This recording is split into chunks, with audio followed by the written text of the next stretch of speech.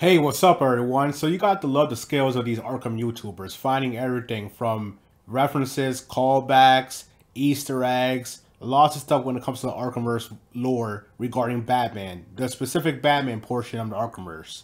Now, what's funny enough is that lots of people, because I remember talking about Batman Arkham Shadows in a slightly negative way. I mean, I still called it a great game even though I, I I haven't played it based on my overall um I, I, I guess I'll flat out say I just did, didn't really want to buy a headset just to play this game and waste money. And I think that's pretty much, you know, the same sentiment lots of other people have. I watched the whole quote unquote um, movie online on YouTube, you know, the entire um, run of the game. Again, I, I thought the story, the narrative was great. That the the voice acting was, you know, Roger Craig Smith excelled, and I really did miss his um his Batman voice. You know, him as the role definitely was something I loved in, Ar- in Arkham Origins.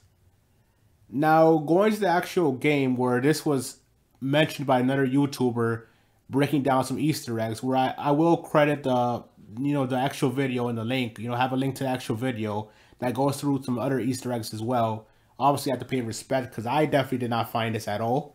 And I, and I bet lots of other people did not find this. But there's lots of stuff. Trust me, there's lots of stuff that connects heavily to Arkham Origins since this game is only like what six, seven months post that game.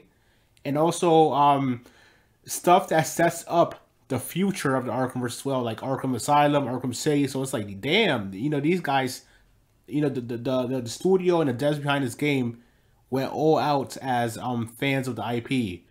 Now going to the actual um I, I guess Easter egg slash reference and setup for the future where it's like, yeah, Dick Grayson is actually in the game.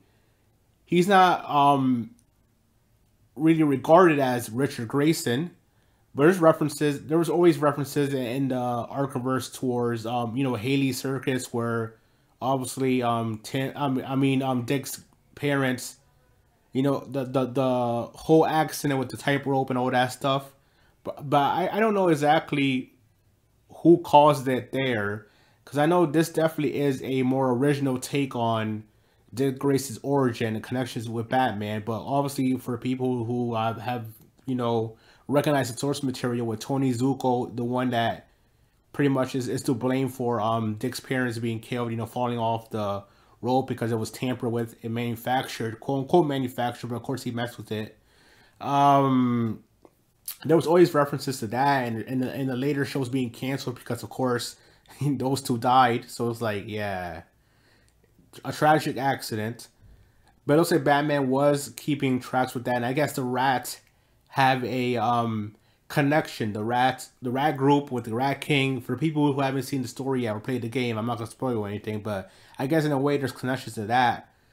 But the the real, I, in my opinion, the real nail to the coffin of, of, of this whole um, I, I don't even know if I use this term correctly, but where where I saw that apparently you um during one pivotal scene where you fight a rat, and and it seems that the rats do make up ordinary Gotham citizens who are sick of the, all the stuff that's going on and how the city mistreats less fortunate and people who are you know not the higher ups. But it seems like a, a big chunk of that actual rat group, that that that crew, whatever you want to call them, are a bunch of like more younger men, more younger people in general. You know, like college students teenagers, and then obviously a bunch of adults. But that that definitely was like the the reason why I'm like scratch, left scratch from my head is because one moment that I, I I talked about where it's like Batman confronts a rat that seems to be a adolescent, you know, a teenager, and basically what what the actual video I, I took the clips from pointed out is that the teenager, the the body, the the design in general, the character design, the NPC, whatever you want to call it, this this person in general had um a Haly Circus jacket with the logo there.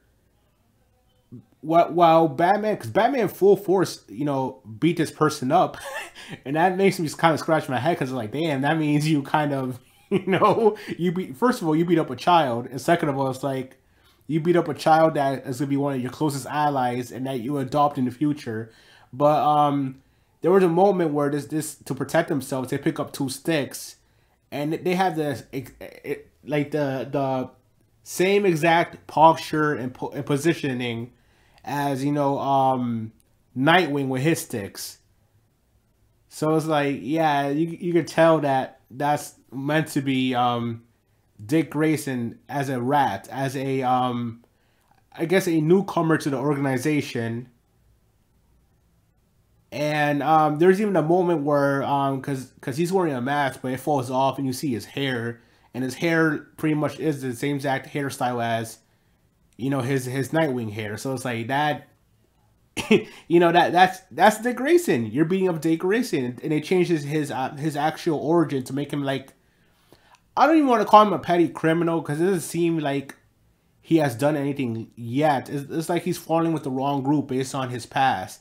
Because I, I remember right away Batman actually was in the audience where when that happened and he you know from there he adopted dick and then dick later finds out about you know he's him being batman and then he wants to help and becomes Robin. And I, I know for because I am showing gameplay from the the the multiplayer um, mode that was in Arkham Origins that, that you play as Robin, and that mode takes place like what two years, three years after Origins, where it's like, you know, you play as as Dick Grayson as Robin. It's not Tim, it's Dick, the original dynamic duo, you know, Cape Crusaders. And um, that makes me think. I, I, guess if they ever make a continuation of, of this portion of, of the Arkhamverse of the timeline, then they could very much could set up Dick, you know, becoming um Robin already. And and I remember, I remember in the actual credits of the game, there's a conversation with Leslie Tompkins talking about the the adolescent child that you know was a former rat as being I guess counseled about, and obviously they're they're flipping their ways to become you know good and positive, and that he should keep tabs on him. So it's like yeah, that definitely is setting up you know Dick Grayson, I guess being adopted by Bruce Wayne. I mean, he's isn't he supposed to be more younger though, like around like nine to eleven? I mean, there he looks like he could very much be like what fourteen to fifteen. I mean, it is what it is. Um, but yeah, no, that that that I saw that and I was like, that definitely is because to be honest, the, the Arkham timeline is very muddy. Like like when the hell does um Jason come in and then Tim like it's it's, it's still confusing to me. Like you know when exactly does all this stuff happen?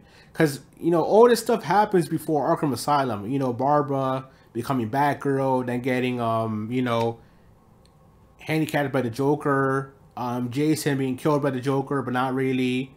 Um, Tim taking over obviously, you know, for a few years being Robin and then becoming Nightwing for Dick Grayson, a bunch of other stuff as well. So again, it's like we still don't know the exact timeline of how stuff is like separate from each other, you know, in terms of, of span of time. But, but I just wanted to talk about this in a video because I thought that was very interesting to be honest with you. It's something I saw, I was like, okay, there's they're definitely setting up some some cool stuff. And um if anything, you know, I, I would wish they would make a full console game, you know, triple A game that, you know, I, I, I would go through the roof with excitement. But if anything, they could just make another continuation of this, or have it have have it take place in another um setting where it's like maybe it's a few years after this, so it's like Batman's already more recognizable. We're getting to the Batman that we know of, you know, before you know during the events of Arkham Asylum. So it's like that type of Batman. Like, you know, maybe we could get to that point now. But who knows? Because, again, as far as I know, there has to be a, at least seven years before Asylum. I, I mean, I, I again, I, I really, really don't have any clue. For, for because again, I, I just count this as Arkham Origins timeline since it's, it's, it's literally only a couple months after the the first game. And as far as I know, people were saying online that this game takes place like what seven years before um Asylum. I know Batman was already Batman for two years from by now, you know, during the events of the game. But I, I again, I, I don't know. But yeah, give us Robin. I mean, oh my gosh! Imagine they turn this to like a full game where it's like you can play it both as both of them. Oh my gosh! I, I know for a fact that um, a a, a um modern AAA Arkham game would just go so hard in terms of graphics and combat. I mean, I mean, we, we heard Rocksteady doing some stuff. You know that th- there's a possibility that it might be um, making another Batman game based on rumors and reportings online by these insiders. But it's like we, we don't have exactly enough information to see if it's true or not.